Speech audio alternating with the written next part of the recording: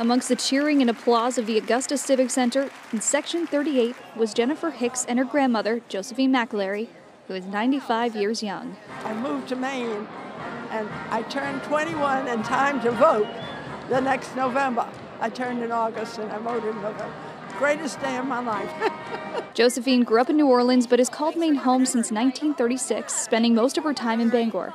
When asked if she thought she would ever see what happened on this stage, a woman sworn into this office, she had this to say. No, no, no. Before the inauguration, we caught up with Senate President Troy Jackson, who administered the oath of office. He says the key in 2019 is to reach across the aisle. That's what we need to do to move the state forward, uh, not get you know in our silos and uh, and not listen to each other. And I, and I really believe uh, this administration is going to do that. I certainly know the legislature is going to. Republican Representative Matthew Pouliot says he's interested in working with Governor Mills, but saw some dollar signs during her speech this evening. I do have some concerns about how we're going to pay for some of her initiatives, but I'm optimistic that we'll find a way to, to make it happen. Back to Janet and Josephine, two generations, taking in a moment in history of Maine's first female governor. I'm sure everybody finds her amenable to, to trying to do something about whatever is bothering them. Not that she may cure it, but she'll endeavor.